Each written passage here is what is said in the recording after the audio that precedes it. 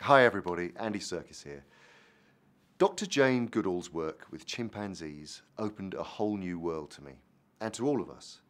Her ability to look beyond what was considered fact led to discoveries that have reshaped our world. She remains an inspiration to me. Jane celebrates her 80th birthday this year, and throughout the coming year, people from all around the world will come together to do projects in their own communities in honour of Jane and to support the ongoing work of the Jane Goodall Institute. Please join in.